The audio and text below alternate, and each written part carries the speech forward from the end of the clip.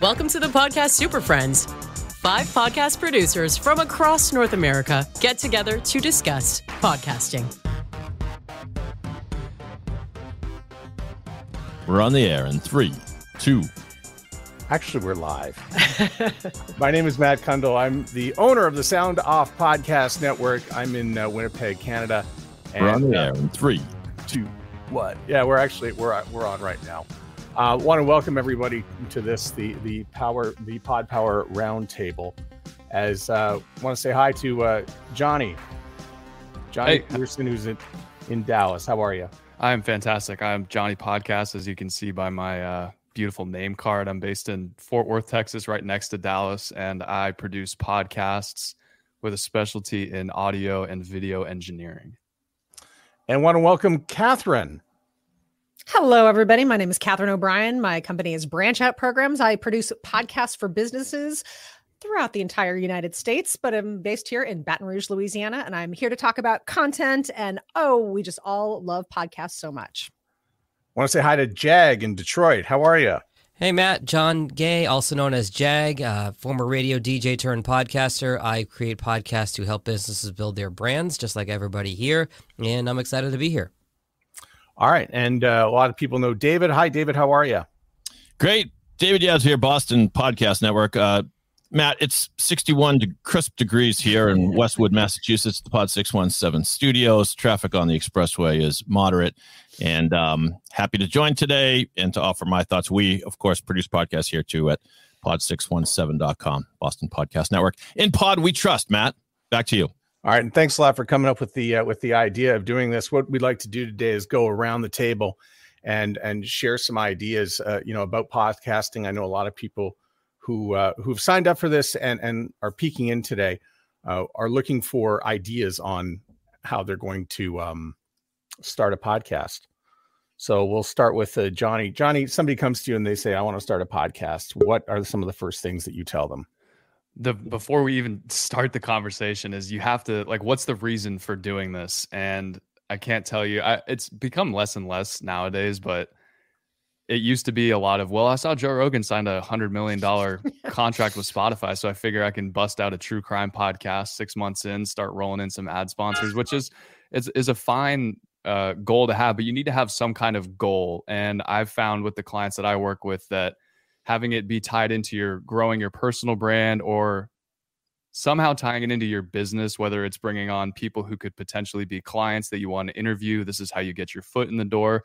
Having some kind of solid goal that you're going to build the show around, that really helps you define your audience. It helps you define what type of guest. If you're even going to do an interview podcast, that's just sort of my frame of reference because that's who I work with mostly. But again, having that one solid goal, having that defined, and then we start to go from there.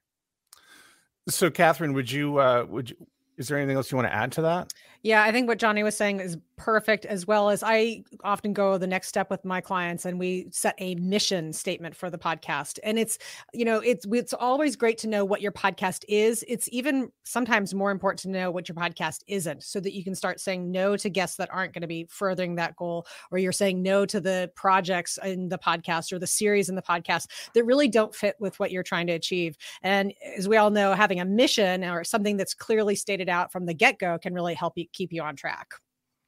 David, tell me about taglines and describing your podcast when it comes to taglines.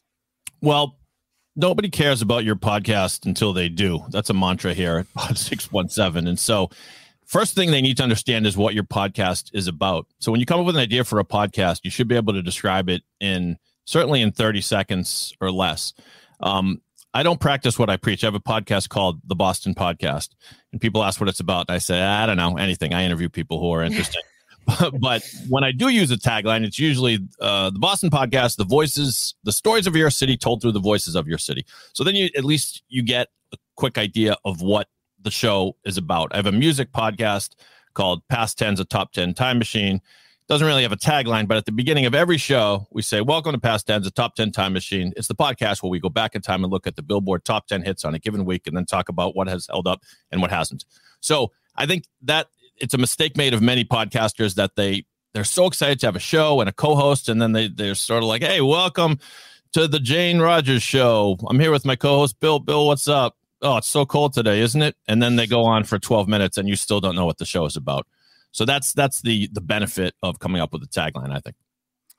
So, Jon, I saved the best question for, for you, and, and David sort of touched on it, like about getting people to care for your podcast. So, how do you get people to care for your podcast? Well, first, let me echo what everybody else has been saying. And there's a great analogy that an early radio mentor of mine taught me, which is that doing a radio show or a podcast is like driving a NASCAR. I'm not a NASCAR fan, but the analogy still works. You do all your work in the pit. So when the race mm. starts, all you've got to do is drive. Mm. Prep your show, have your uh, outline. It doesn't have to be scripted. You don't want to sound like you're reading, but have bullet points. Know how you're going to get from A to B to C to D and so on and so forth. So that I wanted to make sure we get hit on that because planning out the podcast is so important. But as to your question, Matt, how to get people to care, it's just any any kind of marketing. You've got to appeal to an emotion. You've got to get somebody's attention. Whether you're telling a compelling emotional story like a true crime podcast, or you're giving somebody valuable information. You're putting somebody on the ground in Ukraine, uh, to use a topical analogy or providing valuable information about something I like work with a lot of financial advisors talking about retirements, talking about what's happening in terms of, you know, our Roth IRA conversions going away, things like that. Provide information or appeal to an emotion to me are the two ways to get somebody to care. So you mentioned planning. And I know a lot of people are thinking planning. What do I have to plan for? My friends say I'm funny and I should have a podcast. I know, but but I mean, it looks easy. It's just people talking on microphones. So yeah, we we we have such great conversations. We should just record this. Everybody tells us you should have a podcast. well, now you want one, and it's time to plan one out. So, what exactly are we going to be planning for, Johnny? Well, again, it goes back to your goal, and it's really about finding what the topic of your show is going to be because you know a lot of the problems with the podcast we see now, like you said, everyone was joking, oh, we're so funny, we should have a podcast. That leads to, oh, it's the anything and everything podcast. So if you're planning around a specific topic or a specific niche, that ties into what Jag was saying of getting people to care. If mm-hmm. I'm a nurse and I'm looking, I'm not looking for an anything and everything podcast. I want to learn more about nursing and the medical world and what's happening in medicine right now or the nursing industry. I'm going to care about something like that. And that's how you're going to plan your content is defining who your listener is going to be who is that one person where do they hang out online what do they like to talk about? That's how you can really plan around what your episode is going to be. And then if you're like a lot of the inter- the podcasts that we work on again interview podcasts it's finding a person that fits within that area of expertise and then you can kind of flesh it around what they know to talk about because you don't want to bring somebody on that is an expert in x but you spend the entire episode talking about something else you're here to help them kind of flex on their expertise and that really will help you build out what the content's going to be. Ah yes the anything and everything podcast. Catherine why are those ones harder to make successful than say one that is more niche? Who is it for? Who is going to be listening to this and, and why? If you don't have that bullseye of your listener avatar really you're if you're not for somebody you're for nobody. Um, and of course we all have varied interests and maybe our topic we can justify talking to somebody who's not specifically in our niche but really the the show is supposed to be doing something. And if you're not really focused in on that you're going to get into the ramble territory very quickly. And like you know our jokes are all coming back to we all want to think that we're these dynamic conversationalists or whatever but it's really it does take practice to be able to communicate and get your message across. Ramble works very very rarely for a very limited few. So i would just say that's not you. You got to everybody who's hearing our voices right now they have to be talking to somebody about something and let that really be the thing that's guiding your show but isn't that there's like sorry to cut in, Matt. There's that ties in with what Jag was talking about. Is you can't, especially with the types of these types of podcasts, you can. There's a balance between scripting everything out and having some kind of outline so you don't ramble. But at a certain point, I think that there's you can over prepare and you can then, like Jag was just saying, you start to sound like you're just reading off of a script.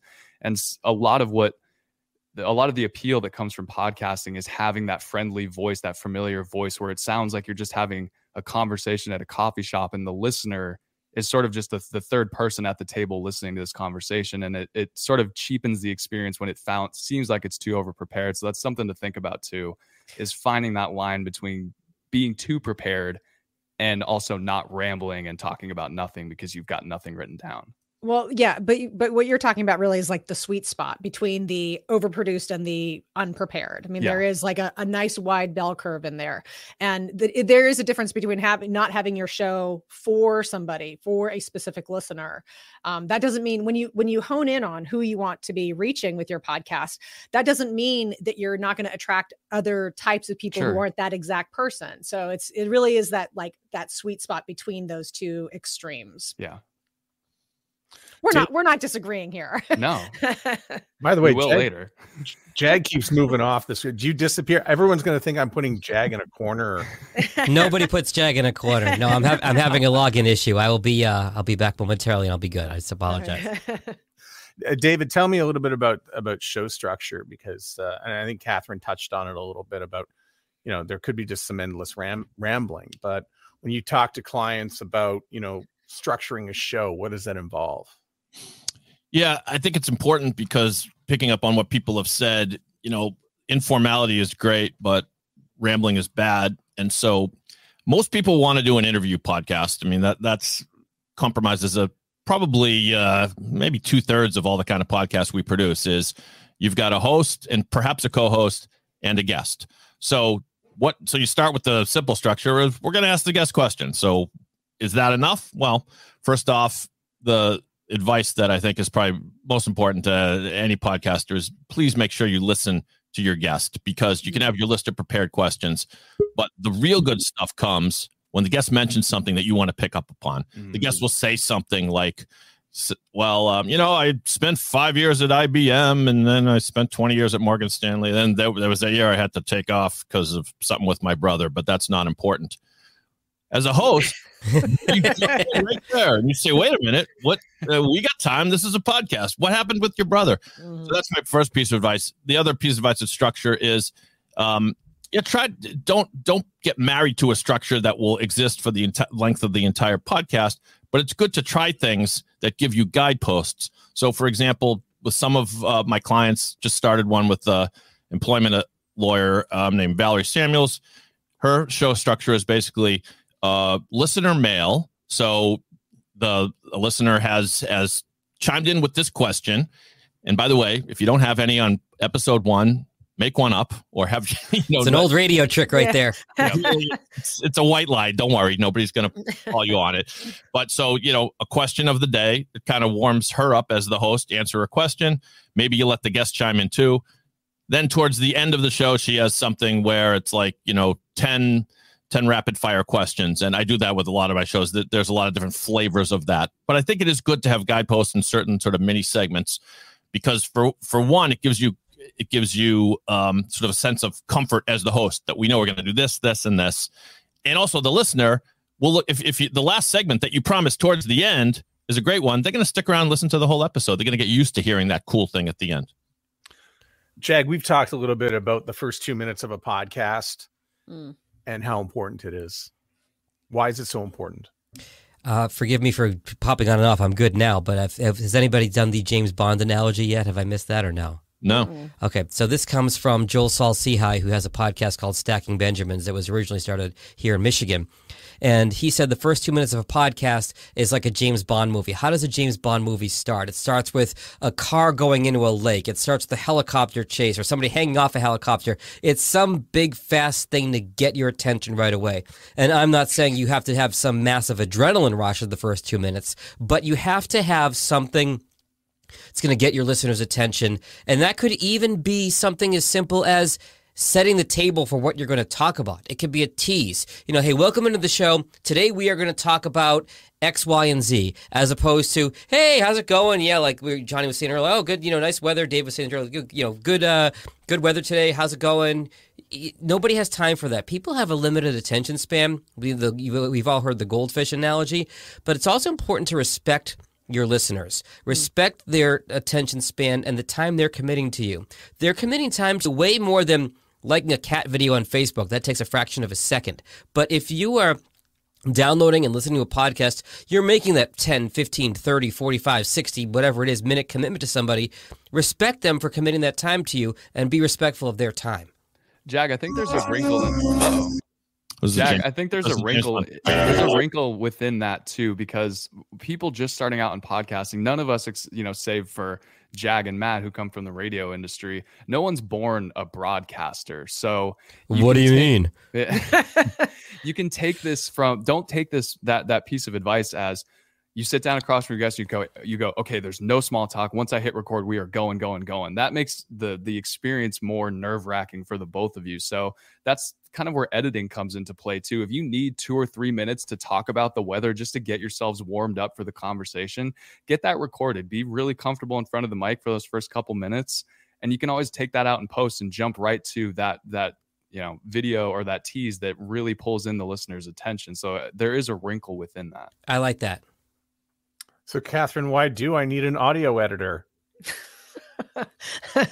because speaking of that uh, James Bond start that we all know, and now anybody who's hearing this will know, is that the quality of your audio matters.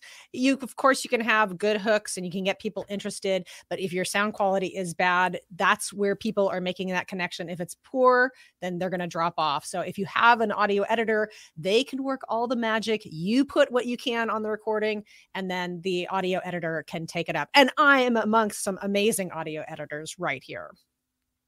I was thinking about about radio and how it was all very live and off the cuff, but then I'm also reminded that anything you can record you can make better. So, David, when you're doing editing, what exactly are you removing or adding?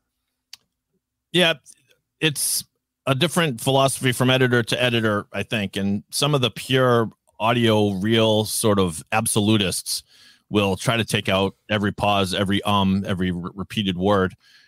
I think generally you don't want to go that far. You don't want to suck the guts out of a good conversation. Sometimes a, a dramatic pause is great. A pause that's there because the the the guest forgot what they were talking about. Maybe not so great. So I we do we do all use and we compare notes on this. The five of us all the time about uh, software tools. There are great ones, but it, it does take a human touch. So we so I tend to try to take out most of the ums and uhs, particularly if somebody has a a crutch. Unfortunately, and we all do have a crutch that we word that they repeat. Some people don't realize they're saying it three times in a row. You know, you know, you know, you know, you know, when I first got to Dallas, Texas, I didn't know anything about. So, in other words, um, clean that up. We try to uh, try to look for inconsistencies, things that you know, moments where people forgot the name of something, and it's just kind of as a listener, it would be distracting to you to try to take that out. And then there there are other tools like uh, Jag introduced us all to this tool, which I don't even know if I should tell people about it, Jag, because it's such a great put us out of business. well, here, David, David, I'll I'll, I'll come I'll come to, uh, I'll piggyback off your point there, which is My that new love, which is that there are AI softwares that will delete ums and uhs, but they w- will not know exactly which ones to take out and not. I mean, if you're on a budget and you're you're kind of doing this, uh, you know, as a hobbyist, maybe but you know the artful um is a panel i remember at a, at a convention we were all at where if somebody asks a question of a guest and it's a really good question and the guest has to think about that answer for a second. Hmm uh, let me think about that for a second. That's important to the context of the conversation. You'll want to leave that. If somebody is just saying, "I," uh, you know, uh, uh, uh, to David's point, that's just distracting. That can go. I find, as a general rule, I probably take out about 80% of the ums and ahs. I leave some in for context. I leave some in if just the way the word came, it's not a clean edit. The rule with editing is if somebody knows there's an edit there, don't make the edit. Some some edits can't be made cleanly, so you might just leave some uh, key, some of those crutch words in in that situation. That's part of the AI thing too, Jag. Is it it does uh, like Descript is the is the is the software world dancing around naming. If you guys are hobbyist podcasters and you want to look into AI editing tools, Descript is the way to go. But there is a downside to that. If you're someone that's really concerned about cutting out all of your ums, uhs, you know, those, the AI does a, I would say a B grade job yeah. of removing all of those. however there's no the the edit itself may not be clean in terms of fading out of the previous word or fading out the breath and then fading back into the next word.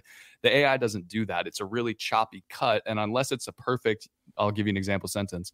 My name is johnny um Peterson and I make podcasts, it'll it'll get that and that could be a pretty clean edit, but if you have the word um in between two words that are pretty close together, it's going to be a really choppy cut. So if just kind of buyer beware, if you're going to use tools like Descript, you need to re-listen through that audio that's been cut and make sure that that clean that edit is clean and if you want to learn more about that you know connect with any of us offline uh, on twitter or wherever on social media and we'll give more context to what's that what that means I want to I want to chime into something that Jag said, and we talk a lot about the ers and ums because every podcaster or every editor talks about taking those out. I would say that there's there's something artful about silence too, and mm. we've seen a lot of some of these the AI or some of the editing where it's truncating all of the silence. But silence can really be your friend. Silence can help convey emotion. It can let a point really hit and land it can be show the maybe a tension or the conflict that somebody's thinking about when they're before they give an answer so silence is another thing that sometimes can really be helpful to the storytelling aspect of your podcast episode and it's not something you just want to take out for the sake of taking things out Catherine, that's also just good advice as an interviewer. I'll give a quick example. One of the first podcasts I ever did, I interviewed the the first openly gay judge on the Massachusetts appeals court. And he was talking about how growing up and being a, a closeted gay male going through law school, hmm. there were just really difficult moments. And he was retelling a story and he paused. And I couldn't tell why he paused at first, but then I realized he was tearing up. He was getting emotional. And for hmm. once in my life, I listened to the voice inside my head that said, "Dave, shut the hell up. Do not, do not interrupt this moment."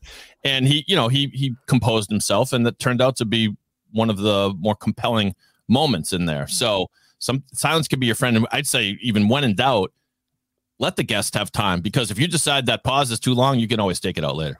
Hmm. I think one of the best reasons why you would hire a, a podcast producer and and this is my experience is that I listened to it a number of times, but it doesn't come out the same way that you know the radio might sound or an audio recording like, like a, a song sounds the levels are low when I get on the airplane. It doesn't sound the same in my car. And then I asked somebody about it, and then up came this word compression, and I have no idea what compression is. And so that's when I immediately went and hired a professional to teach me a little bit about this. Uh, Johnny, why is this important for audio? Compression. I mean, I wasn't trained in like Full Sail University. A lot of us are self taught. So I can't give an academic answer to what compression really is. But essentially, when you're a hobbyist podcaster and you're recording, thank you, Jag. When you're a hobbyist podcaster and you're recording, the gain level, i.e., the volume of your microphone, can be all over the place. And if it's way too high, we need to bring that down because it's just going to puncture the listener's ears. So essentially, what we do with compression is basically we're sitting, we're putting a weight on top of that recorded audio and we're pushing it down just a little bit or even a lot if it's way too high. But really, ultimately, the the goal of compression is to make the final audio that we're putting out really comfortable for the listener because if we as the listener have to struggle through listening to a piece of audio you're going to last maybe 15 or 20 seconds even if it's the most compelling conversation you've ever heard so yeah and i didn't want to get too knee deep into the into the audio hoopla on the whole thing but I, I guess the question is why do some podcasts sound bad and and other ones sound better you know i mean i think it's a lot easier to make yeah. a, a bad sounding podcast than it is to make a really good sounding one. Yeah, and, and for, it is one of the things that sorry, Johnny, it is one of the things that will prompt the listener to turn it off. I mean, think about have you ever if you've been on podcast, they welcome the guest on, and the guest's level is so low that you can't hear it and it's crackly, and then you end up having to adjust your volume knob because the host is so loud and the guest is not. So those are those are the kind of things like the get uh, people will accept if someone sounds like a radio call-in guest and the, their voice sounds a little staticky, but there's a limit and so we we all just want to make sure it's a comfortable listen. I think there's a trade off there, which is the worse your audio is, the better the content has to be. And people will be it's a lot people will be a lot more forgiving of average or C or D audio, but only if the content is an A plus. Um, and, and and one of the biggest things to David's point is inconsistent volume between the guests. If you've got somebody in a car who has to mess with the volume knob between the guest and the host, and they're going to get their ears blown out when the louder person comes on, you're right. They're not going to last long. I don't care what you're talking about. And they could get in a car accident because they keep looking down at the radio. you don't want that on your conscience. Come no, on now. No, no, that's not why we started this podcast. Uh, let's go around just briefly about microphones because I think a lot of people their first purchase is going to be the microphone, or I've got to buy a microphone. What are your quick and fast uh, tips or suggestions for purchasing a microphone? What should you be looking for? I'll go first. Oh. Shure MV7 USB. It's two hundred and fifty dollars. I know it sounds expensive, but get that microphone. It's the USB version of this one. That's all I'll say. Shure is S H U R E. Is that right? S H U R E M V seven. If you if that is a little too uh, rich for your blood, the Samson S A M S O N. The model is Q2U. You can connect uh, by XLR or by USB, and it is about 70, 80 bucks on Amazon. Uh, Johnny's mic is better. The Samson Q2U will be absolutely just fine. Yeah. There I was in Target just strolling along. I had my cart. I was looking around and I found myself in the electronics department. And there, sitting before me in this shiny box, ready for an unboxing video, all came clear to me. Why do so many people use the Blue Yeti? Because it is available at Target. Mm-hmm. I won't say, I will say what no one else will say here. Don't buy the Blue Yeti. Go ahead and buy one of the mics that the gentleman here we're talking about. Now, of course, everybody comes back and they say, well, actually, Yeti is not that bad of a mic or whatever. Fine. The problem with the Yeti is that it's very difficult to make easily to make great sound come out of it. So I'm using right now, I'm using the Audio Technica 2100. It plugs right into my laptop. That's also, I like it as a choice for sort of a plug and play durable microphone if you but the point i'm trying to make here is uh if you whatever microphone you get you need to learn how to make your mic sound good. The yeti is difficult because first of all it's a side address mic. A lot of people don't know that. It's got a polar pattern switch so that you have to make sure that you're it's picking up the sound that you want it to and not the sound that you don't. It's not pulling in all the sound from the the room. And it's much easier to get some success going right away with a dynamic microphone that as jag and i are pointing out is under a hundred dollars but if you do, if you did end up with the with the Yeti, and I have I have a client or two that are don't updo my dramatic right story, Johnny. Come on, all that I'm, was a good saying, story. All it's I'm saying is that the the power of the internet. There is a ton of information out there on how you can tweak your Blue Yeti to make it passable for podcasting. So just you know, we'll, do some we'll googling. Put the Bandrew Scott video. Yeah, so yeah, exactly. The that, Bandrew yeah. Scott interview. Yeah. Um, I think we, uh, go ahead, Jag, and then I'll go. You go. I was going to say uh, again, we don't, as Matt said, we don't get too deep into the tech aspect of it. But when you're looking at the specs on a microphone to pick out, as Catherine alluded to, there are condenser microphones and there are dynamic microphones. Very simply put, the condenser microphone is built for a studio environment that will pick up everything around you. It'll pick up the traffic outside, it'll pick up your neighbor yelling across the street. A dynamic microphone is designed to pick up more of your voice going into it and less of the background. As you're starting out, especially, get a dynamic microphone, not a condenser microphone. Beautiful. And just to the point about the, we have uh, Yetis and snowballs around the Pod 617 studios here, but they're kind of off to the side, like kind of like it would be in a museum, you know, just kind of placed there. They're not plugged in. Uh, that one of the big mistakes people make is is falling for the thing where the the Yeti or the snowball, one of those, it it has a setting where you can set it so that it gets everybody in the room. It, it will never work well. Never. It'll it'll yeah. it'll sound like a bunch of people in a room, not like a podcast. So don't do that. The, and I'd be curious to hear if anyone has quick advice. I don't want to get too deep in the weeds, but about if you have if you have two ho- two uh, co-hosts, you're doing a podcast with a friend, you should have two microphones. The the the technical aspect of getting both of those into the same feed is actually a little bit more complicated than we would hope. I have a lot of um, people who just actually get on a Zoom call, even if they're in the same office, they go into different rooms and that works just fine. But there I, are solutions. Anyone want to chime in? Yeah, I literally just got an episode sent to me this morning of this exact scenario, and they had me jump on Riverside with them to make sure that it was all set up. But basically, the setup was they're in the same room, recording into the same computer, each with a Shure SM7, which is the microphone that I'm using right now, and Jag is using as well.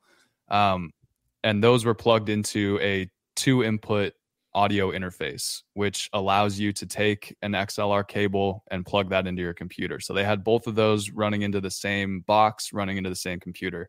I just had them sit a little bit further away and I made sure that their gains were set correctly and that everything was plugged in correctly. I think one of the cables was a little loose, so there's some feedback, but it turned out really well. So it, it can work, um, but again, you got to have the right equipment, which points to again, if you have a producer on call that you can just call, text, FaceTime, that's a great resource to have.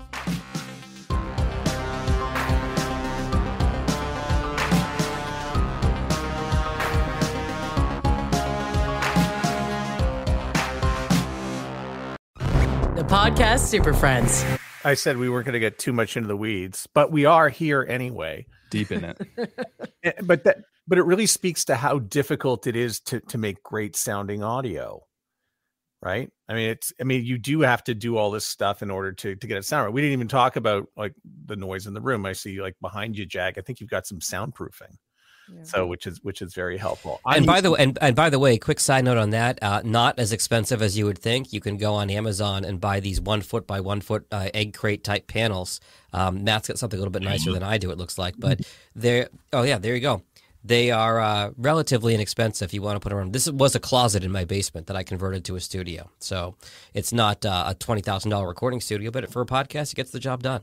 Horse blankets work and they look cool. They make you look more like a podcaster. yeah, but all, I mean, I, I feel like I've changed my stance on this over the years. Of I was really big on like record it in your closet, have all your clothes hanging up in the small closet, and so it kind of dampens the sound. If you can afford a editor and not even an editor, but an audio engineer, they can help clean you up. Really, the basics that you need are to be in a room that is quiet with a few, with as minimum number of windows as possible. If you don't have to deal with a lot of outdoor noise or people coming in and out of the room, I have no soundproofing panel. I showed that panel, but it's just sitting on the floor. Right. It's really, you know, it, you should really be focused on the content of your podcast and having a solid microphone to start. If you can afford doing the studio and like sound soundproofing your room, that's great. But I feel like I, my my stance on it has changed, and obviously I'm open to being wrong. But I feel like the percentage difference that that makes is not enough to where it needs to be your sole focus. I I think that you're right, and I think also too a couple of things. Audiences have come a long way as well. The, the, audiences have a variety of podcasts that they're listening to, and they are used to just different sort of let's call it tones. Plus, I think that as podcasting has grown in popularity, there's more options for those engineering. So if you get a kind of back to the sweet spot that we were talking about before, Johnny, is that there's two ends of being poor audio quality and there's a wide range of good sounding audio quality. Yeah, there's a big if, middle if there's a big middle and if you can get your show into that then you're right worrying more about what you're saying who you're saying it to those are going to serve you much better agreed so all those in favor of banning the blue yeti say aye aye aye can we make it a felony misdemeanor, misdemeanor. I'll, uh, I'll say it again you can learn to there are ways to make like we were saying there are ways to make it sound good, uh, you know, passable, yeah. but it's just you have to know you know thy mic. It takes more work, and if you're not already like uh, into audio, it's weird because if you're into audio engineering and podcasting sound, you wouldn't buy it. But if you are, if you're not, and you have bought it, you need to have that knowledge to be able to work it correctly. So That's it's right. you know you're screwed if you do, screwed if you don't. The worst thing for a bad product is good marketing. Boom. Yeah, mm-hmm. that's true. Uh, I want to just pivot slightly to performance how do you know when your podcast is doing well? We'll start with Catherine. Oh gosh, why me? I think that it, one of somebody who was been in podcasting a little bit longer than I have, they really tried to turn my attention early on to the idea of engagement.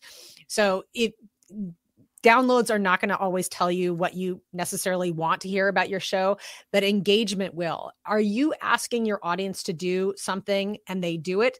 that's worth gold. That is marketing gold. That is your podcast is doing what it's supposed to do if your audience is taking the action that you would like them to take.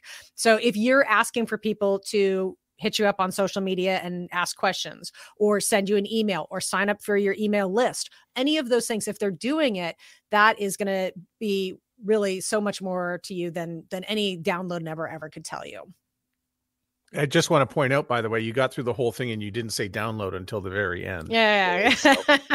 but it, I guess to the to that point, it, it's not necessarily about downloads.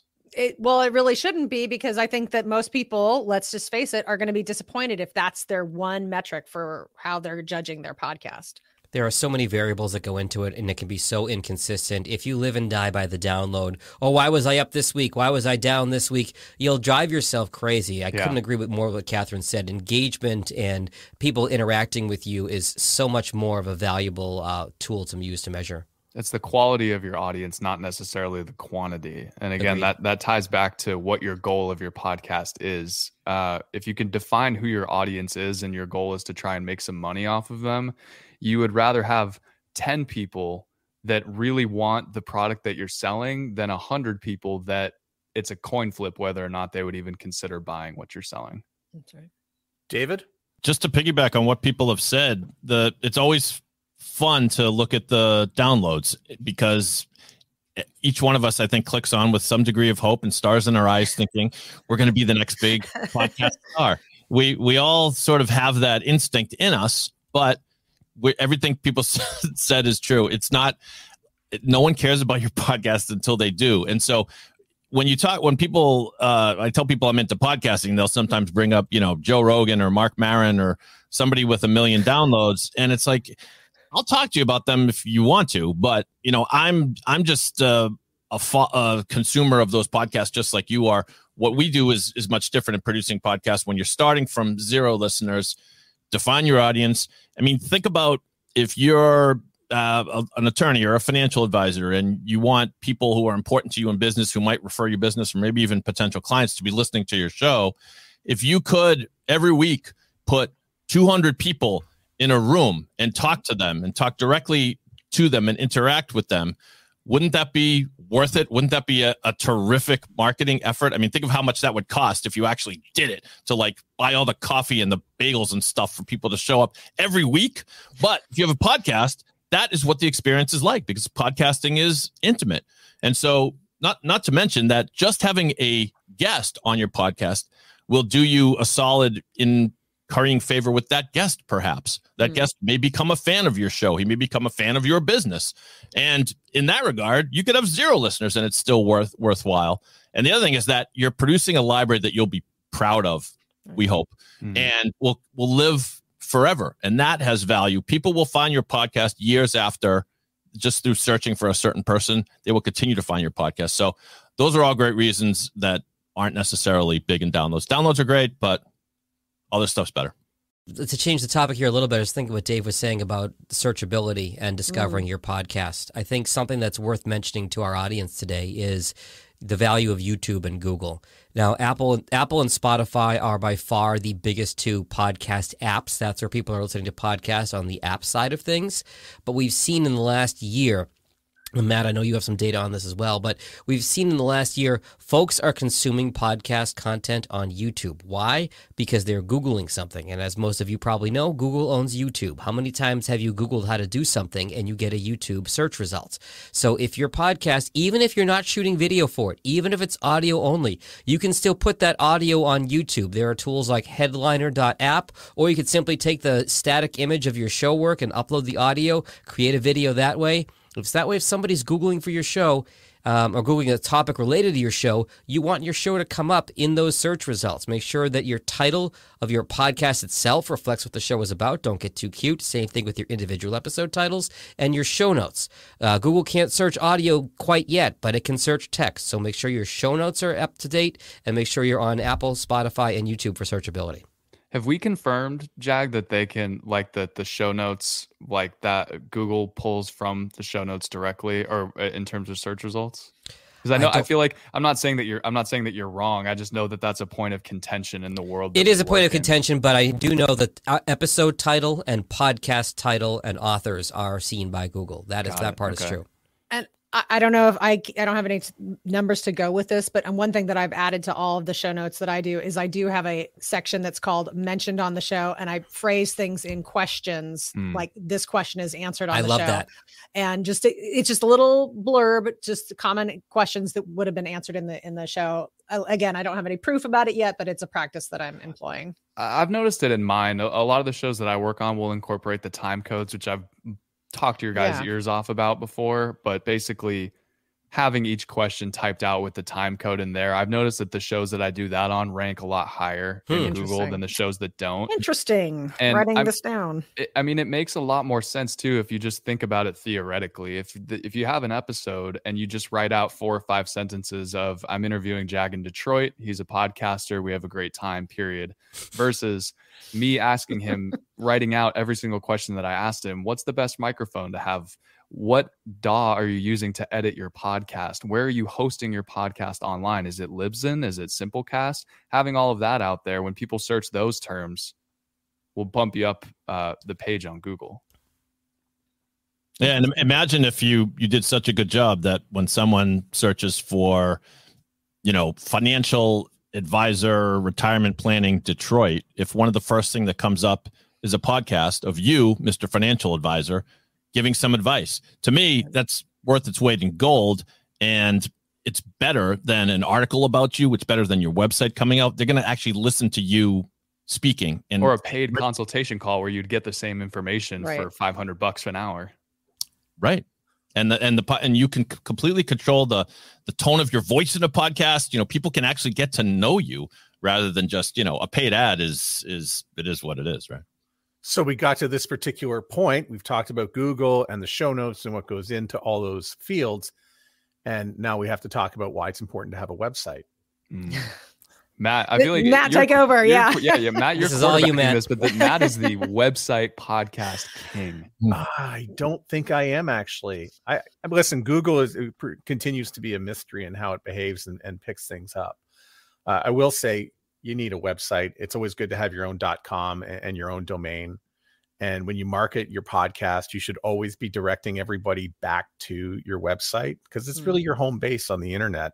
And the more Google understands that you're in it to podcast and and what's going on, uh, the better. Each episode should have its own page. Should have you can set it up in a blog format, for instance, if you're using something like Wix or Squarespace. Um, I, I know there's some services out there like like Podpage, which I use for my network, which which divvies it all up nicely. And there's room to put in your, your meta tags and your SEO and all the other Google geeky stuff uh, that's out there. But you, you need to play nice with Google. You need to be friendly with them. Um, understand a little bit about, you know, you know, the tags and having the pod, having the website point to the RSS feed and getting it all to understand that yes there's a podcast here and i see i think one of the mistakes a lot of people make with their podcast website is they they say well i'm going to add a podcast page and it's just one page with all the episodes listed straight up and down and then that's just the one page. Google really doesn't understand that. Mm. it doesn't really it's not going to be able to catalog oh i had i had catherine on my podcast.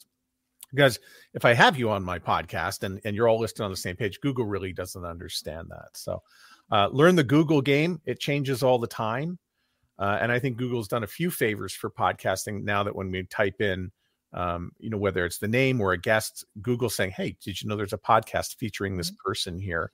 And I think that's really going to be important for discovery going forward.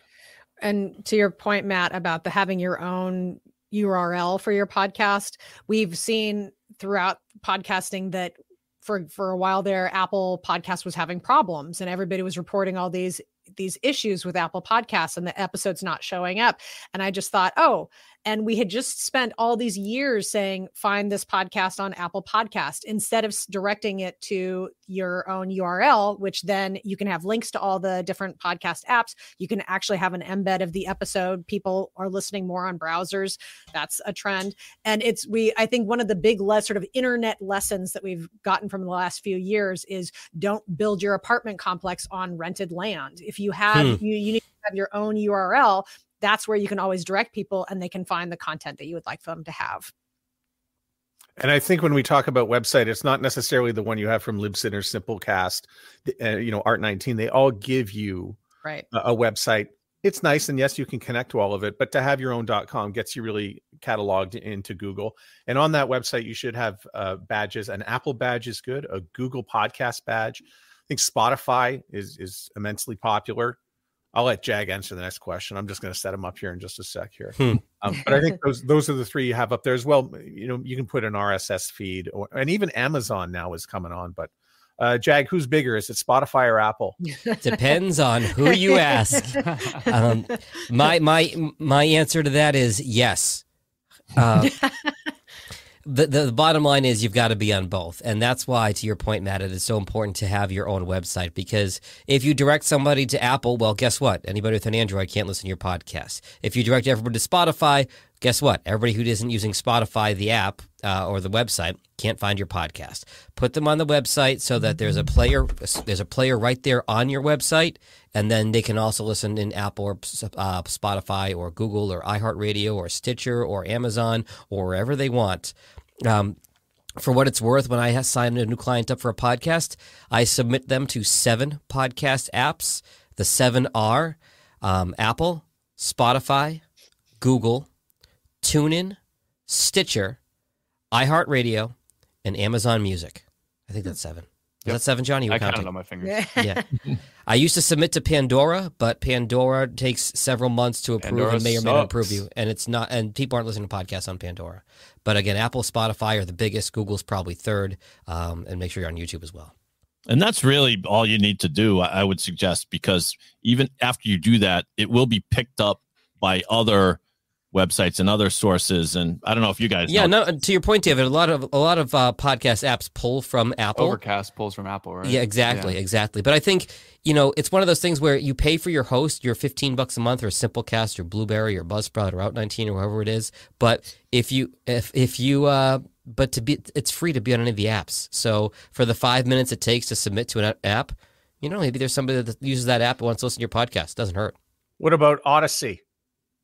I have not had good luck. I, I saw a long uh, a long process to approve a podcast when I looked at them up, and iHeart has very much improved uh, their process where they're up within sometimes minutes of me submitting a new podcast to them. And so that's a USA only podcast app, by the way. So that's that's why I say, I'm in Canada, so I, I say that with a little tongue in cheek. I, I do want to talk about India. Uh, there's JioSaavn and also Gaana. Gaana. Yeah. Uh, worth it. Uh, you know, the United States has a population of 330 million and India is a billion. Billion, yeah. well, it's the same as the United States plus another billion people. Yeah. and it's a there's a fairly large english uh, speaking population there so especially if you have a podcast where there's celebrity or you have popular people on people Western Western United States culture is huge too. I work on a podcast called The Cowboy Perspective, and it's this guy down in West Texas, and he just talks to other cowboys about bull riding, ranching, things like that. And he's huge in India. These guys, these, these Indian people love hearing about cowboys. It's so yeah. I mean, being you want to essentially you want to be everywhere, and it really isn't that difficult to be No. everywhere, YouTube included. I have It a new is- client. Go ahead. Kathy, I'm sorry. I was gonna, it is kind of fun to look at the world map and see all the different countries that that the podcast is being. Although for some of my clients that are like a specific Baton Rouge focused, it's like it doesn't work to say we had 12 downloads in Thailand. Yeah. So, what Matt, what you mentioned were you mentioned podcast uh, apps for India because I, I didn't know about those. yeah they're Yeah. they're that maybe. yeah um i'll put it in the uh, i'll put it in the chat both of them i'll just I have- remember how I- to yeah, what, what are you going to say, it. Jag? I have a new I have a new client I'm developing a podcast with. It's a men's health podcast. He's a urologist. Why wouldn't I put it in India? They have the same health problems we do. Why not? Yes. They have men over there. Last I checked, yeah. I'd be really pissed off if you didn't put that on uh, Jack. That would be. Uh, now there's a I this get is- that Ah. joke, David. I get it. Oh. That took me a second, but well played, sir. this is a good opportunity by the way to talk about youtube i think i think johnny or jag you just mentioned it a second ago but it, it does play into google so johnny do i need a video strategy what is it do i need to be on youtube Jag is really great on talking about the audio only and just being on YouTube. And I love how much he hits on that. When I have people consult with me about starting a podcast, I always ask them if they're interested in video. And if they're iffy on it, I don't steer them that way. I Mhm. say let's nail down the audio side of things first. Let's just get your podcast rolling. Let's focus a lot on the content and having really high quality audio for your audio only listeners. Because yes, while YouTube is is the biggest media consumption platform in in the world, um, people are going to listen to your podcast because it's a podcast, so they'll likely be listening it on podcast platforms. But if you are interested in getting into video, you should absolutely do it. That you can do it with a very bare bones budget, as much as you can just have your iPhone set up recording you, and you just line it up in. Uh, if you're on Apple, I think it's called iMovie um, or there's a Premiere, or I think, I think Premiere is the Adobe product, but you can, or you can pay somebody five bucks just to drop the audio on top of your video and line it up and make sure that your your mouth connects with the clean audio. It really isn't that difficult, but it does give um, you know a more professional sense to your podcast. And as you level up and go, you can do the multi-camera setup. You can make it seem more like a really high production show, but I always steer people towards let's nail down the podcast side of things first. And if some if video is something that you're interested in and that you can afford to spend the money on, why not do it? Because that is going to pull somebody in more who's searching and finding you off of YouTube than necessarily a static image. Yeah, if you're doing two separate rounds of edits, one for the audio podcast and one for the video, that's something you probably want to do three years into your journey as a Yeah. podcaster. I agree with Johnny completely. Video is good. It, it's it's better to be on YouTube than not be on YouTube, but I, I still file it under nice things to have. And you can be on YouTube. Maybe someone said it already, but just with a static image of your podcast logo and the podcast running, that it does serve a purpose. Because, like Jag said, people will find you through the search engine. But to try to produce an entire video podcast at, at Pod Six One Seven, we we do a lot of pods by Zoom or by other platforms, and so there's a video recorded. We sometimes use little snippets of those as promotions for the pod, but rarely do we produce an entire full scale video podcast. That's what I was going to say too. I was going to add on to that too, David, is that even if you just have it recorded, it's nice to have because you can pull those snippets and use those as teasers for social media or something. And you can even chop up and post, you know, each 10 minute segment of the pod to YouTube. And because we have the goldfish attention span that our world does, you know, having a shorter clip of your podcast can help it, I guess, not not exactly go viral, but entice people to tune in to a six minute segment of a podcast where there is video rather than an hour and 30 minute podcast uh, that someone who has no clue who your content is, they're likely not going to listen to the whole thing. To that point, I would also say that if you can take a 30 or 60 second clip of the podcast, whether it's if it's video, great. If it's not video, you can create uh, a little video where the words pop up and it's, Mhm. it's a transcription on it. You post that on social, post that video to social as a tease. And then if it's a Facebook or a Twitter post, say, if you want to hear the whole podcast, boom, here's a link to my website. Yep. Make sure you do that though, because some people forget, and then it drives me crazy. It's like, okay, I just heard a interesting Yeah. snippet of this podcast. Where can I find this? Yeah, make it- and and it's the number one reason why people will forget about your podcast because it's not easy to share. So make sure it's easy to share. I'm writing that down, David. What were we talking about? I have the attention span of a goldfish. Making it easy to share. I, I think I think that's that's a that's a great marketing tip and, and something that we don't you know consider a lot when we, when we go out into in, into marketing it. So I mean I, I I don't like to be the person who brings all the bad news to this, but after you finish a podcast, you've really only done about half the work because Yeah. you, gotta, you, gotta, you, you do have to market the whole thing and make it easy for people to share, send the people back to the website and, and whatnot. And I, I really like the tip with the uh, with the video clips that that can be repurposed uh, out into the uh, out into social media land. So, how much social media and how much marketing you know do we need to dedicate into into this? I think it depends on your, on your bandwidth. It depends on how much you can do. You've really got to have a strategy to say, I have X amount of hours in my week to dedicate this to. Social media is big. Another tool that, if you haven't used it, is getting people to sign up for an email distribution list. Because if you are emailing somebody every time you have a new episode come out, you're going right to their inbox versus hoping that Zuckerberg shows them your stuff on Facebook or Instagram, which, let's be honest, it's a real crapshoot.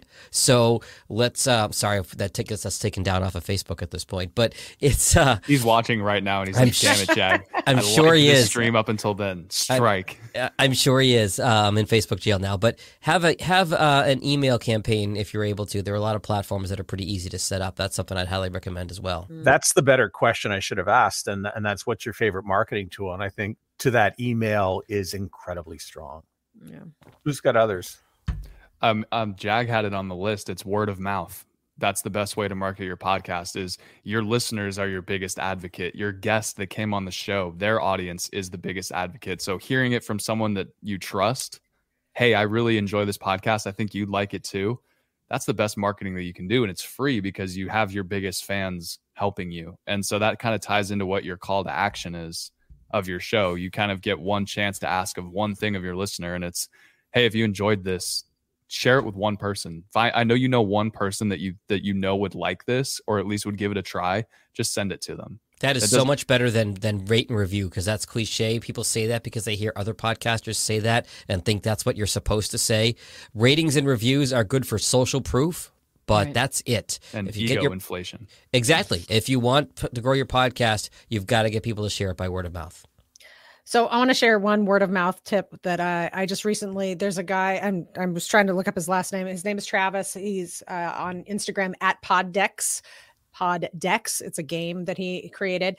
And one of the things he says about word of mouth is a great engagement tool is to ask your audience to think of one person think of one person and tell them about the show and the reason that that's so persuasive is it's very visual because as soon as somebody says, think of one person who might benefit from the show, in your mind starts scanning people you know, friends, colleagues, whatever. So that's very visual. And then it's the very simple tell that person about the show because you think that they would like it. Um, and that's a great word of mouth uh, tip that I have been trying to spread as far and wide as I can go because it makes so much sense. It, it's one thing to say, you know, tell your friends about the show. It's like, hello, I'd like to tell you about a podcast that I've been listening to, as opposed to getting very specific and thinking about a show that you like and the person that you know that would also enjoy that show. So that's a great word of mouth tip. That ties back into everything that we've talked about today, which is you want to make this as easy for them, your listener, to share this with someone that they care about because they're now putting their name on the line of saying, Hey, uh, you trust me you need to trust me to listen to this podcast. It's everywhere. So it's really easy for that person to find. If they're on an Android phone, they can get it on Spotify or Google Podcasts. If they have the Apple phone, they can get it on Apple Podcasts immediately. If they have YouTube, they can find it on YouTube. Also, it has really high quality audio and video production. Now, wow, oh, this isn't some rinky dink podcast where they're just yelling into their computer for an hour. This is a real show. And right. that's going to make it so much easier for that person, that fan, that listener to share it with somebody else. So you, all of those factors that we've talked about today make it so much easier and you're packaging it up and you just say, now help me spread this to the world. And you, you probably have people that are already prepared and incentivized to share your show because they like your show. And people right. like to be part of something. Like we have the the music oh look the logo's going by now past tense the music podcast that i do we have probably about you know 10 to 12 people that you know every episode will email in with just funny thoughts reactions to the prior show. Well those people you, those are your ambassadors you know right. those that's your posse. If you call them out on the show mention them on the show you know hey it was great uh, jeff from wilmington checked in he had a question about something we people dig that and then you know you can send them this episode and say by the way we gave you a shout out in this episode. Now you think that person isn't going to want to share that episode or any episode that you asked them to so oh yeah, yeah love it. Yeah i want to throw out there to guest on another podcast. Yes. Yeah. It, it, just a great way to extend your audience and your and your brand out there. Podcast listeners like podcasts. What do you know? Matt, any any how to recommendations on that? Do you literally just find podcasts that you like and say, "Hey, I would love to be a guest if you've if that opportunity arises or or whatever?" No, I just make myself really available for for people who who want to do this. In fact, I actually have a part of my website saying, "Hey, if you'd like me to guest on your mm. podcast, you can just book me mm. in here." And you use a Calendly, or I use Schedule once, and and one of those things. I marketing is really about making yourself as available as possible. And, and is it Matt? Is it, is it okay to? Request to be a guest on other people's shows because people will find you because you have such a distinct niche and you've had so mm. much so much success in the radio space and in podcasting so people want to seek you out. But for someone that wants to grow their podcast do you recommend cold calling basically? No um and yes. I think you got to be gentle about it and be listen some people are forward about it. I happen to be a little bit shy. I'm not going to go anywhere unless i'm i'm asked to do it Um, and as, as well as podcasters, we all get bombarded with guest invitations and Mm. requests all the time now. From, I don't. I've Well- been a guest on one podcast outside of this group, and it was really fun. Please, people, have me on. I love to talk. Well, Johnny ma- podcast is available. Yeah, well, if you have someone as a guest on your show, Johnny, I think there maybe you feel a lot more comfortable saying, by the way, That's my problem. I don't have a show. Yes, you do. I was on your show. Yeah, that, that's been in the graveyard for. you No. know, All six right. Bring it back. It was great. Johnny, I still am planning to have you on my show. So, yeah. all right. So uh, we're wrapping this up because I know Johnny, you got to do something uh, business like coming up here at the top of the hour. So, final words bills. from everyone. I'd say if you're wondering whether or not to start a podcast, the best advice is just do it. Don't aim for perfection in episode one. Once you start doing it, you'll get a taste for it, you'll enjoy it, and you'll be proud of it. And that's maybe the best reason to launch a podcast. Jag. I'm going to give you a uh, preview of my podcast this week and say that there's a UC San Diego study that headphone listening sticks more than speaker listening because the headphones are in your ear and right in your brain. That speaks to the power of audio and what can be done with a podcast. Catherine. Did you like this live stream? I invite you to think of one person, one podcaster that you know that would benefit from this show and share this live stream, the recording, share it with them. And that's a way you can help us here. As the, And Johnny. Podcasting's really fun. If you're on the fence about it, even if it's just doing a test recording where you just record and have a conversation with a buddy and you never release it, just try it. It's it's it is a really fun thing to do. Agreed. Do it. Thank you, Matt. Fantastic. Yeah, thanks, Good job, Matt. We'll promise, but Matt, you don't have to quarterback all of these. We can kind I of know, trade yeah. around and do uh, have other people moderate. I don't mind. Good. I had fun. Thanks for joining us, everyone. Yeah, thanks, guys. Bye bye. And Pod with Trust. Thanks for listening to the podcast Super Friends. For a transcript of the show or to connect with the Super Friends, go to the show notes of this episode or go to soundoff.network. Produced and distributed by the Sound Off Media Company.